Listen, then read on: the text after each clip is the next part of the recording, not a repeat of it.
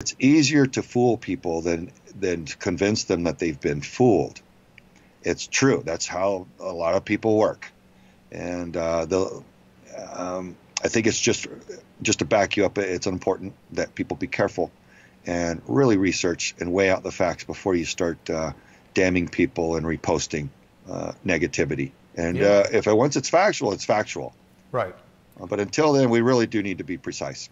And you and I have both been victims of this type of social engineering. It can start with uh, a malicious individual, it can start with someone with good intentions, but once it gets put out there, it's really incumbent on every person who receives that information to scrutinize it carefully, to seek evidence before they make public comments. The, the lesson to be learned from what's happened with Field McConnell is that you got to be very careful what you say about people because if it's untrue, particularly if you're accusing them of crimes or inciting other people to violence against a person, this is not something to be taken light, lightly. It can destroy lives as we, as we are seeing right now.